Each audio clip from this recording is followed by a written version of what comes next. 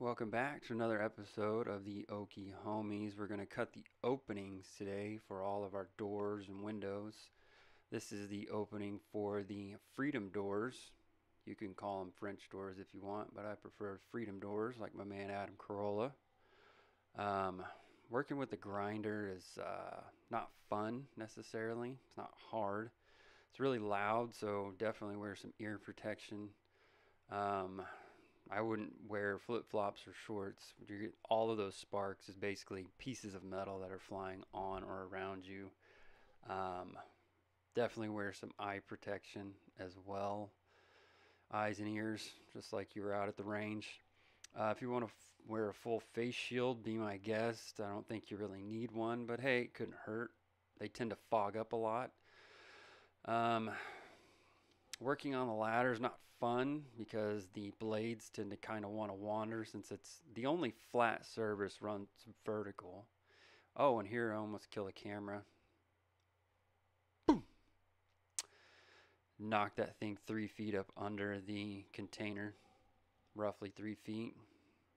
Here I am making sure I didn't die, didn't kill it. But there's the opening cut.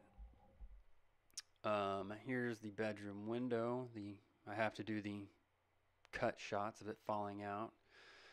Kitchen window, tried to get something cool there. I don't know. Kind of a cool shot. But anyway, it gets cut out. We end up with our holes. I cut all of these basically three inches too wide, top and bottom. That way I can make room for the framing. I can frame to the wood. Um, just gives me some options. So if you cut the holes too narrow, not wide enough.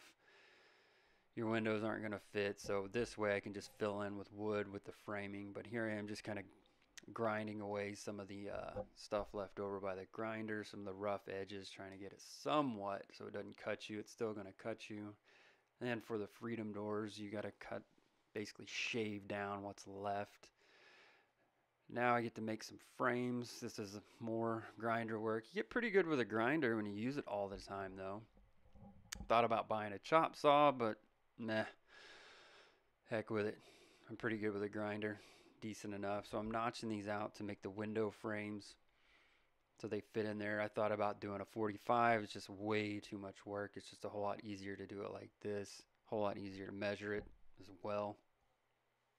But anyway, um, if you're going to buy metal, which you're going to have to buy metal, obviously, buy it from a metal supplier. Don't go to Lowe's or Home Depot. It's way, way cheaper, way more or less expensive, cost effective, if you will, to buy it from a, a supplier, metal supplier. I was able to get 80 feet of 2 inch by 2 inch angle, eighth inch thick, for about $140, $150 with tax if you were to do that at Lowe's or Home Depot, if they have it in stock, it's probably going to cost you around four or five hundred bucks. I'm not a very good welder, but I'm good enough. There's the Freedom Door frame done. Uh, that is the bathroom frame put in, ready to be welded. You're going to need clamps basically just to pull it back even because as you cut out that hole, the walls will kind of wander and you'll need to be able to pull them back in and holding it with your hand and trying to weld. It's not going to work out too well. Again not a very good welder but good enough.